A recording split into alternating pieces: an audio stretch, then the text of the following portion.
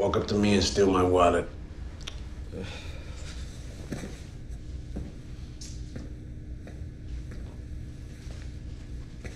Kid. I mean, it's ridiculous. I wouldn't have a guy come up to me in the street and ask me to steal his wallet. It doesn't work like that. Just do it. Okay, okay. Uh, well, I'd, I'd walk up to the guy, avoid eye contact, step to the side, look him in the eye, and then I'd be gone.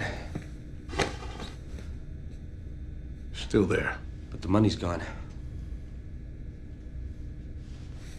See, I took the wallet the first time, then put it back the second, only without the money.